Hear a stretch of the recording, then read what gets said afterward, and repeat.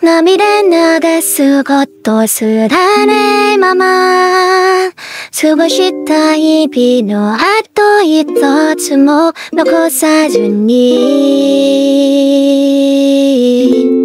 さよならだ。一人で迎えた朝に鳴り響く誰かの音。二人で過ごした部屋で目を閉じたまま考えてた悪いのは誰だ？わかんないよ。誰のせいでもない。多分僕らは何回だってきっとそう何年だってきっとさよならと共に終わるだけなんだ。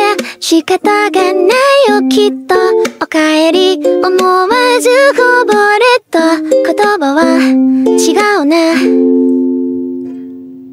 一人で迎えた朝にふと思う誰かのこと。二人で過ごした日々の当たり前がまだ残っている悪いのは君だ。そうだっけ。悪いのは僕だ。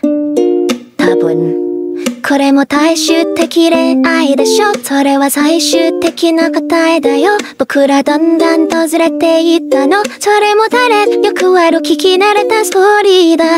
あんなに輝いていた。日々見ずら誇りは積もっていくんだ。僕らは何回だってきっと。そう何年だってきっと。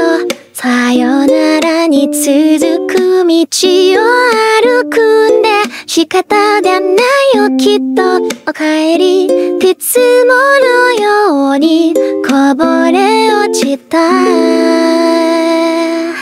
わかり合えないことなんてさ、いくらでもあるんだきっと、す。べてを許し合えるわけじゃないから、ただ優しさの日々を辛い日々と感じてしまったのなら、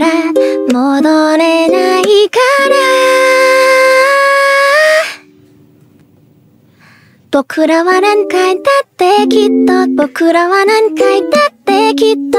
そうなんでんだってきっと。さよならと共に終わるだけなんだ。仕方がないよきっと。おかえり思わずこぼれた。言葉は違うな。それでも何回だってきっと。そうなんだ